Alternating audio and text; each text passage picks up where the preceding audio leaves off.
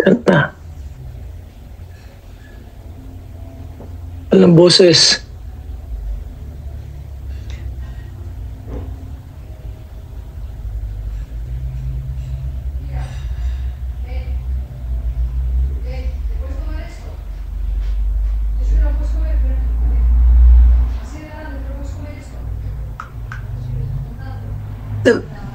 Dong, wa- walang sounds dong. Ah, again, ah, tingnan natin. Ah. For the meantime, us- ano muna tayo? Ah, how important is relationship? Di ba? Sa, sa amin, kilala nyo kami na na dumaan din kami sa panahon, Tet, na ano, ano, na talagang makalayo. Tapos, ah, There's bilang- one thing na masasabi ko sa inyo, no? Lahat naman po tayo ay tao lang. No po, kami pong mag-asawa ay tao lang. Meron din kami mga imperfections. Ah, eh, eto, Yeah. mamaya na lang. Mamaya, mamaya. Hello,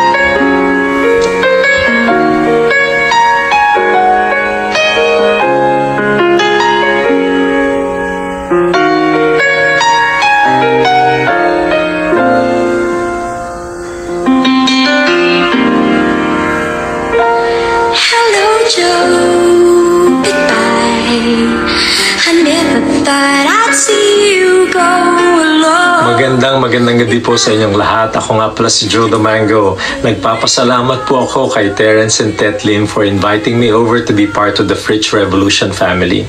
Isa pong malaking karangalan, maihanay kay Sir Francis J. Kong, kay Chinky Tan, kay Terence and Tet Lim to be one of your Fritz mentors. Excited po ako ngayong gabing ito for our first OF Winner Success Summit dahil I will have the privilege to tell you about marriage and love.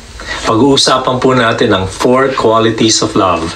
But before we start, I'd like to give you an overview of how I normally start my program sa radyo when I started in 1985 and when I did Love Notes in 1988. Here's how it goes. Hi, I'm Joe the Mango. Hello and welcome to another episode of Love Notes. Sometimes, sometimes, letting it out can make a big difference. Oh, yes. And sometimes, you gotta let your heart speak. You gotta let your heart speak. You gotta let it out.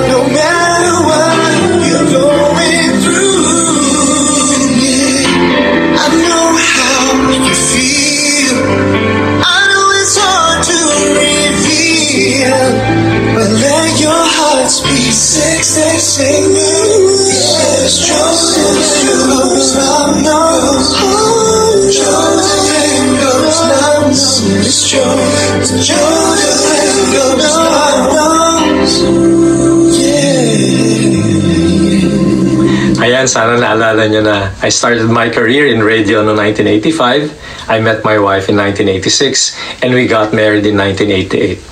Disclaimer po muna, I stand before you not because my marriage is perfect. I stand before you because my marriage has been broken, and but it has been renewed and restored by the grace and mercy of our Lord Jesus Christ. It is in the brokenness of my marriage that I'm presenting myself to you today. Dahil my marriage has been made whole again by the love and grace of our Lord Jesus Christ.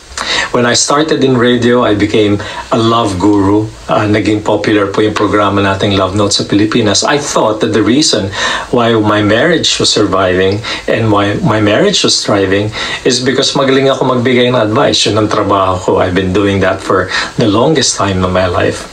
But when I became a Christian, I realized that the reason why my marriage is still intact, bakit mag-asawa pa rin kami ni Bing ngayon, it's not because of who I am. It's not because of what I know, but it's because of the grace and mercy of our Lord alone. There are two days in a year na you are never in control of. And that is yesterday and the other one is tomorrow. Today is the day. Sabihin niya sa kasama niyo ngayon, today is the day. Today is the day that we will live our lives and love the way that God has loved us and show that in the relationships that we have around us. Life, hindi po madali. Buhay mag-asawa, lalong hindi madali.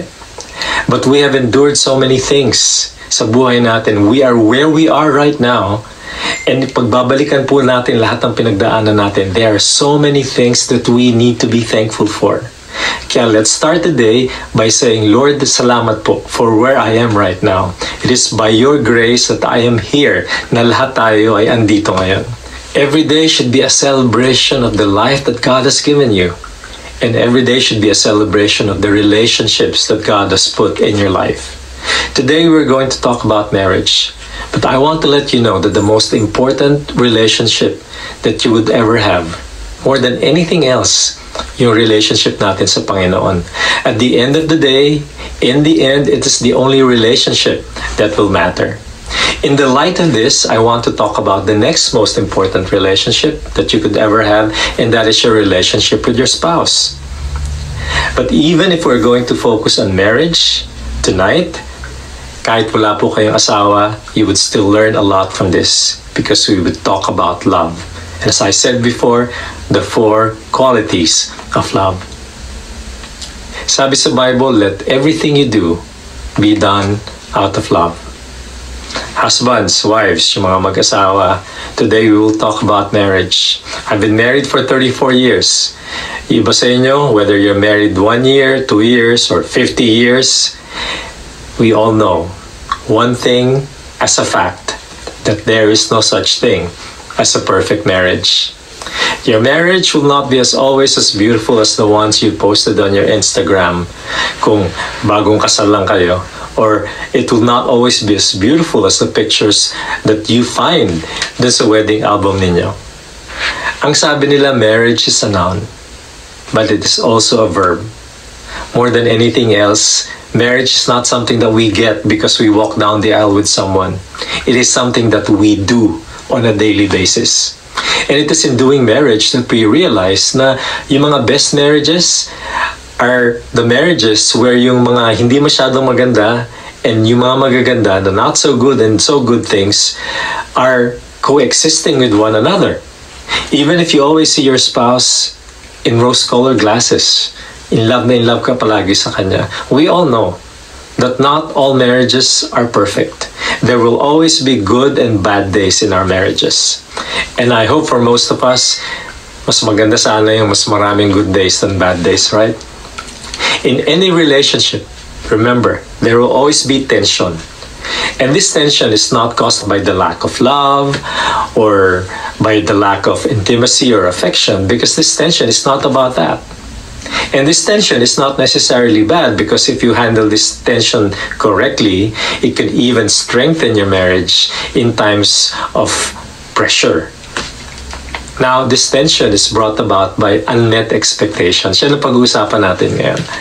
The tension lies between what we expect and what we see in reality. It is the ideal, yung gusto natin, and what is really happening in reality in our present. We should manage our expectations kasi if we don't, there will be conflicts between what we expect and what we see happening in our lives. Here are some pictures, no? Nakakatuwa to, mga memes to about uh, expectations versus reality. Yung wife pumunta sa grocery. Pauwi sa bahay, sabi niya, Uy, magme-message muna ako sa asawa ko. Sabi niya, okay honey, see you in a bit, take care. Ano expectation and reality? Sabi ng asawa, imbis na I miss you too. Uy, wag mo kalimutang bumili ng ano, ng gatas bago ka umuwi. Don't forget the toilet paper. Don't forget the oil. Nawawala na yung sweetness, nawawala na yung yung bromance relationship. And that's the reality. Nangyayari yan in every marriage. When you start in your relationship, parang in love na in love kayo sa isa't isa. Kahit magtitigal lang kayo maghapon, okay na. Hindi na kailangan kumain. Busog na busog ka na. No. But in reality, after the butterflies in your stomach have gone by, it sets in. Nakikita mo na yung mga bagay na hindi mo expect na ugali pala o gawain pala ng asawa mo. Reality sets in. And also, this picture tells us of the scenario when, no, alaalala mo, bago pa lang kayo, bago pa lang kayo mag-asawa o mag-boyfriend, the guy would always say, alam ko saan tayo kakain. There's this good restaurant, masarap ang pagkain dito, punta tayo dito. But after a few years in marriage or in the relationship, ang conversation nyo na is, oh, saan tayo kakain? Ikaw, bahala ka. Anong gusto mo? Ikaw, kung saan mo gusto? Ikaw, ikaw mamili. Ikaw nang, hindi ikaw gusto kong isatisfy. Anong gusto mo kainin? Remember, we get into that kind of situation wherein imbis na ma-enjoy natin yung dinner natin, we, end, we end up like yung uh, corpses bride and groom. Nawawala na yung excitement, hindi na tayo nag-enjoy kasi nauwi na nagkainisan simply because hindi natin alam saan tayo kakain. Reality versus expectation. There is a middle ground dun sa gitna ng reality and expectation. And that is where the tension starts. This is also where we realize that there is something more important than our relationship with our spouse. It is in this tension, in this middle ground, that we realize that it is our relationship with Jesus that is more important than our relationship with our wife or with our husband. Because in this middle ground between reality and expectation, that is where we will find the joy, the purpose, and the meaning of our marriage. This is where Jesus meets you and where real love becomes the language of your marriage. It is where being kind is more important than being right when you're arguing with one another. It is where the Holy Spirit empowers your marriage so that you are able to live your married Christian life with supernatural joy in spite of everything that you're going through. Not all of you may agree with me, but I believe that marriage, our marriages, should not be endured but celebrated. Sino sa inyo yung nagtitiis na lang sa asawa ninyo? A lot of us sometimes feel that way. But no one is given more than 24 hours than the others.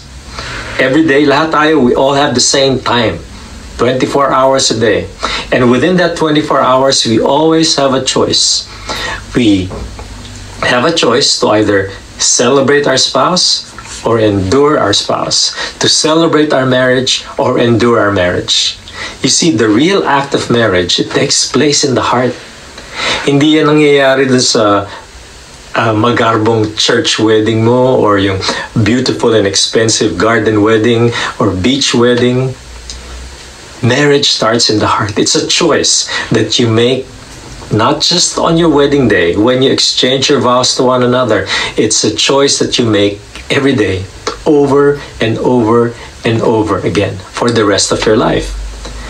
And that choice is reflected by the way you treat your spouse. Yung choice mo in loving your spouse is reflected in the way you treat them.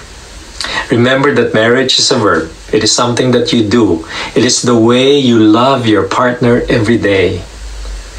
And you either live your marriage for God's glory or you live it for your glory.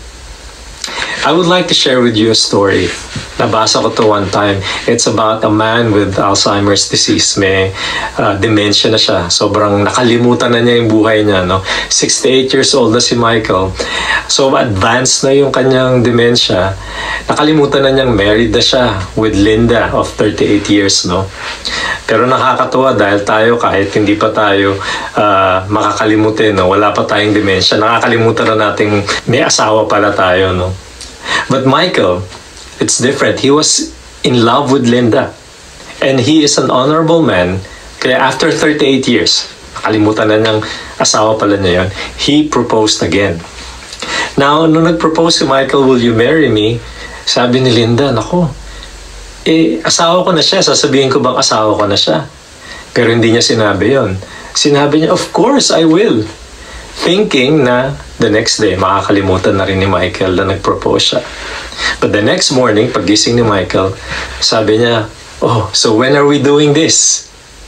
Nagulat si Linda, naalala pa ni Michael the next day. Remember, advanced na yung dementia niya, di ba?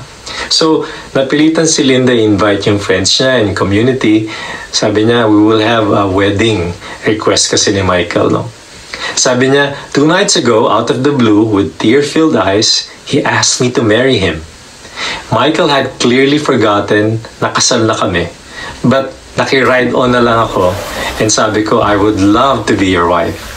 In spite of his confused mind, alam naman niya and he feels that this is something that he really wants to do. To Michael, it will be our wedding ceremony, but to me, it's truly a precious and memorable occasion. Ito na, wedding morning. Linda wasn't sure kung matatandaan ni Michael. And kinakabahan na siya kasi nakaset na lahat. Meron ng celebrant, meron ng pagkain, nakahanda na lahat. Sabi niya, ako, paano pagising? Tapos nakalimutan na niya na ikakasal pala kami ngayon. So, that morning was pretty stressful for Linda. Anxious siya, no? And alam mo, pagising ni Michael, ang sabi niya kay Linda, the first thing that he said, sabi niya, today is the day. So they exchanged vows at the scenic lake near their home as friends looked on.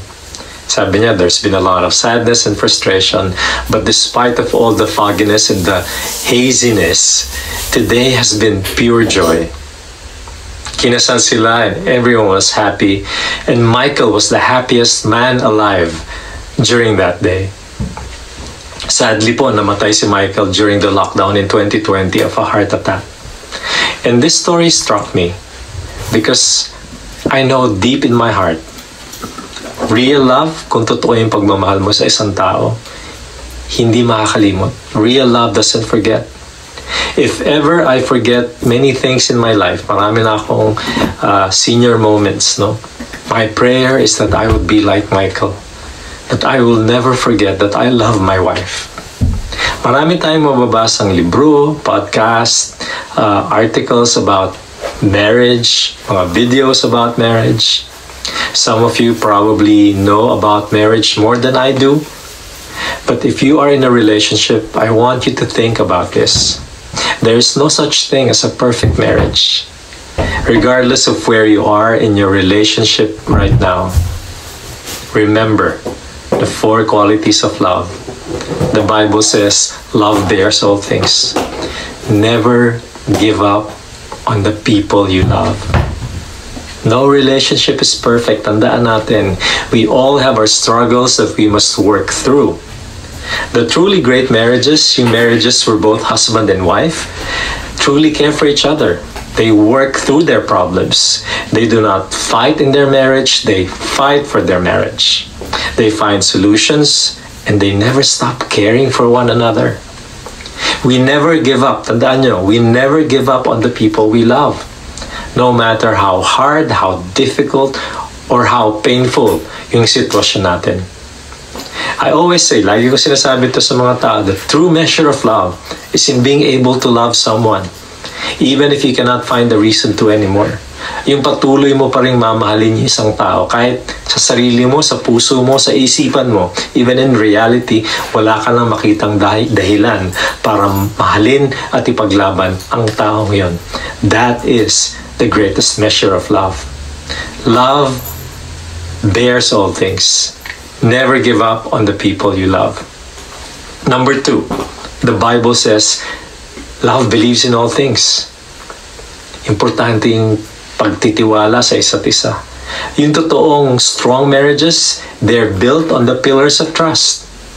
There's no piece of paper that can make you stay in your marriage. Yung pinirmahan yung marriage contract, kaya nyo nga pinirmahan yan, no? Sa isang piece of paper, simply because alam natin hindi madali ang marriage. If it's easy, you wouldn't be asked to sign on a piece of paper a contract that binds you to that person for life.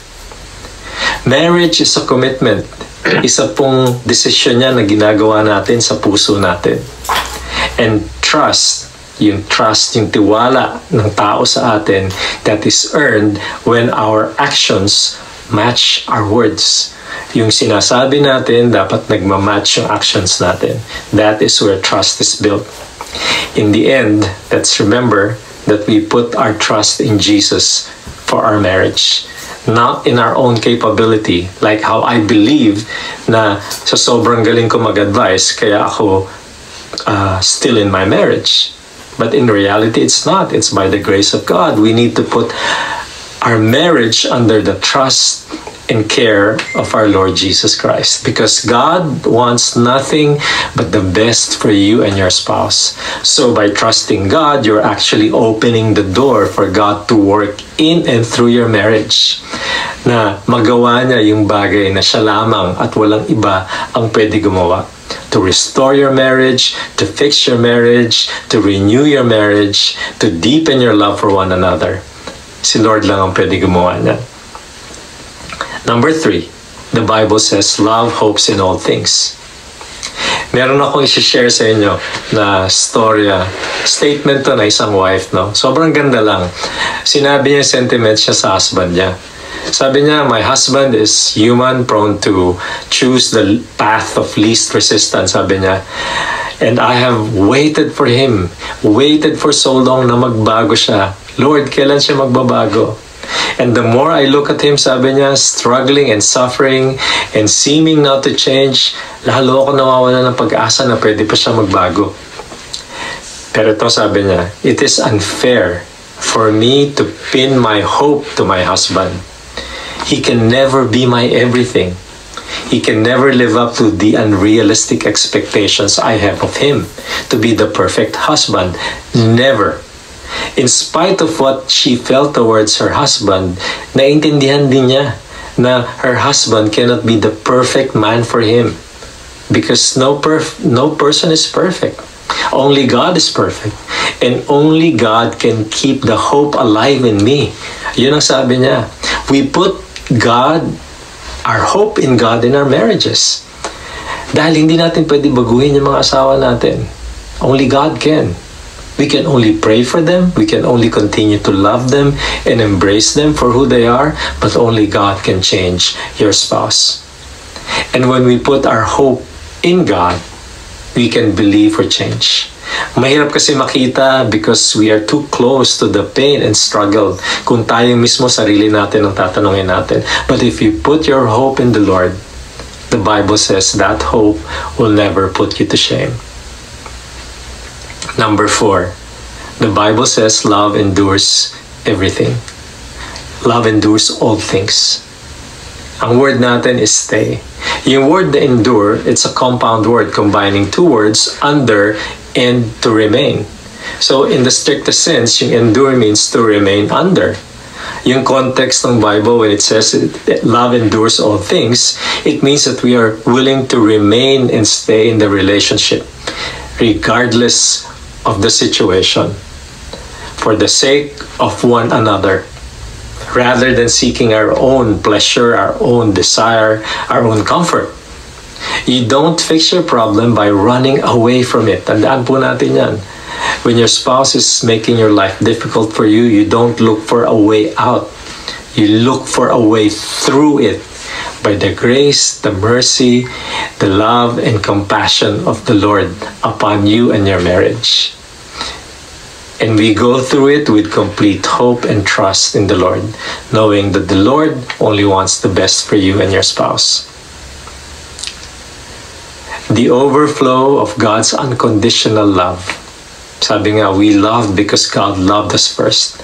That overflow will enable you in your marriage to bear, believe, hope, and endure every circumstance you and your spouse will find yourself into. By the grace and mercy of our Lord. Husbands, wives, tandaan nyo ito. Your journey started when you promised to marry the one that you love. It was magical. It was beautiful. Tandaan mo yung yung time na nagbo-walk kayo down the aisle, the wedding day, the reception, everything was beautiful and expensive too sometimes. But that is just the beginning. The real challenge of marriage is when you are asked to not marry the one that you love, but to actually love the one that you married.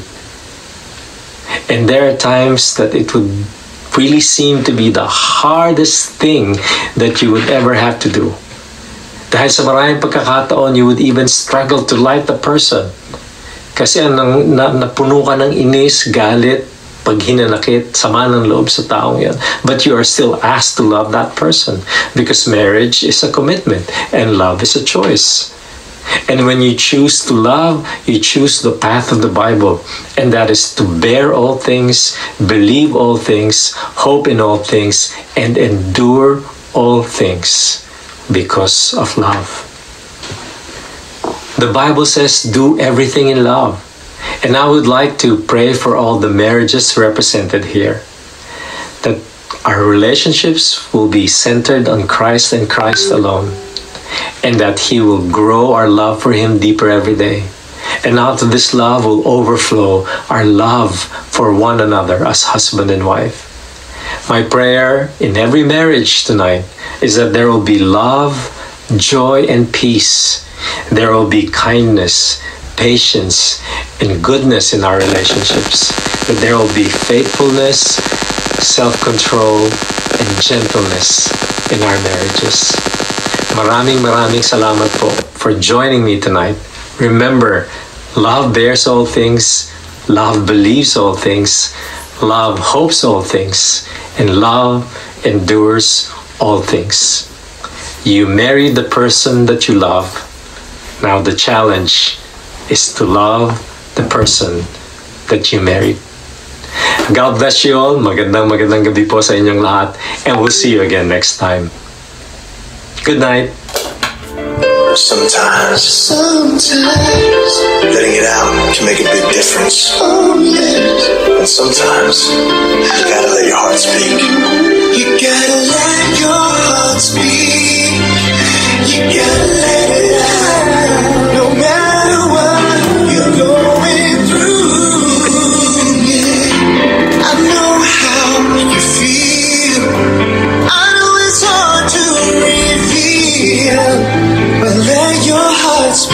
speak. Six, six, six. Yes, trust is yours. Love knows. Trust and goes love knows. It's yours. Trust and goes love knows. Yeah.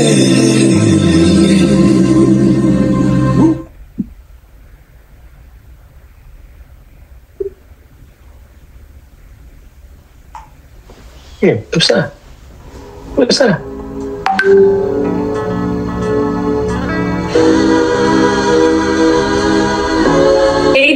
gentlemen, live na live po. Kasama po natin siya, Joe the Mango! Yes, maraming maraming salamat. Terence and Ted, it's really an honor and a pleasure to join yung mga mga kasama natin na idol ko talaga uh, from the very beginning. Sir Francis Kong, si Ching Kitan, we go a lo- long way back. So maraming maraming salamat. It's really an honor to be part of this. Sobra kang, sobrang ganda. I, really, tonight, uh, we all felt so blessed, no? Sa inyong tatlo. Ah, God feeling ko, sent, ki- God sent, eh, no? Yeah. God sent.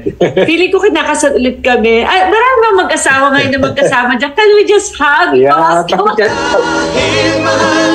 Yun! Thank you so much, Joe. Paki-hug ang ating mga Maraming asawa. salamat. Tinatamaan naman tayo, tao lang tayo. Kaya nga andyan si Joe Tamango. Kaya sobrang, sobrang blessed ang community na to. Sana mas marami pang mga overseas Filipino ang makapakinig ng ganito. And it's really a, a, a blessing that we are all guided, no? Yun, yun lang. Yes. So thankful with all the sharings that you did. Salamat, uh, Terence and Ted. I remember when you first talked to me about the fridge revolution no, na uh, you told me about your vision, your advocacy. Sabi ko, ang galing, no? Kasi you're not only teaching our OFW uh, family and friends na sa ibang bansa how to uh, have a winning lifestyle and um, maging winner pagdating sa kaperahan, no? But also value the relationships, di ba? No matter how much money we make, how um, rich we become, if we uh, become that at the expense of our family, hindi rin maganda, di ba? And there's no nothing that can justify no failure in the family kahit naging successful tayo sa ibang bagay. So yung combination ng approach nyo towards our OF winners na uh, mindset, pera, and family, sobrang ganda. Sabi ko, I want to be part of it. Kaya I'm here. Wow, maraming maraming Thank you, thank you, thank you, Joe. Thank you so much. And see you again in our everyday soon. uh, contents, messages Yes. sa Face- Meron pong ano si Sir Joe Damango. Habang nagsasauna ako, minsan nakikinig ako. Meron siyang Spotify, yan. Ano bang Yes, meron? meron din YouTube. Yan. Meron. So you can At meron follow. tayong session, meron tayong session sa October, uh, one-on-one. You can ask Joe whatever you want to ask and we'll try to answer all of them. Wow! Yan, OF winner sa puso, oh, talaga. October 7, huwag niyong kalimutan, Saturday, 8 p.m. Yan, Saturday, 8 p.m., October 7, no? Ah, 2023, paki-save the date na po. Isipin mo, di ba? Pwede silang magtanong kay Joe Damango. Isipin mo, through Fritz Revo na ibabalik natin yung Dear Joe. Wow! Yes, how to hack a winning relationship from afar. Di ba kasi iba yung relationship na makatabi kayo, no? ah, malapit, minsan naman yung makalayo, minsan ang relationship bilang isang OFW, di ba? Ah, pagod sa trabaho, pag ah, pag uwi sa bahay, marami pang kailangan gawin, kailangan pa maglaba, kailangan pa pagplancha, and it really takes a toll dun sa rela- relationship na to. So I'm sure marami tayong matutunan kasi Yeah. Okay, Joe, ano talagang ano to, ah, sabi ko nga, eh, hindi ko masabi paulit-ulit God send, God send, God send kasi talagang very important ang relationship. Tama po ba? Yeah, Pakichat nga dyan, di ba? Inig, pero syempre while building your Very wealth, important whether you're single, no, whether you're married, no, talagang importante po yung relationship, no, relationship sa Yes. mag-asawa sa taas, sa tabi natin, talagang Mm. importante Uh, uh, yan. yeah, it's so important at kailangan kong ganun si Tess. Makinig ka dyan. Then ginanon din niya ako. Makinig ka din. O, di ba? Baka may gusto sabihin si Joe sa, sa ano natin, sa community Yeah. natin, Joe. Any last Maraming maraming Joe? salamat uh, for uh, joining us tonight. Nako, uh, nag-extend tayo pero it's all worth it. Kahit mas mahabang oras pa, I'm sure hindi natin ito pagsisisihan. And this is just the start. Sabi nga ni Terence and Ted, this is just the start. Uh, kami ni Sir Francis, ni uh, Chinky, Terence and Ted, we are all committed to helping our Filipino uh, kababayan sa mga kaibigan, kapatid, kamag-anak to actually live a winning lifestyle. Hindi lang sa pera, hindi lang sa mindset, kundi winning lifestyle in terms of relationships. Sayang naman kung wala tayong babalikan, di ba? Na mga pamilya, no? Ang dami kong alam na storya in my 30 years of doing love notes. They all start with ang ganda na intention no? To bring their family to a better place no? Ika nga financially. But they end up losing their family in the process. So what's the use of that kung hindi natin makakamit yung yung pagiging winner in all aspects of our life? So this is the perfect place for you to be in. And I'm I'm really glad and honored to be part of the Fritz Revolution family uh, for life. Wow! Thank you. Thank you, Joe.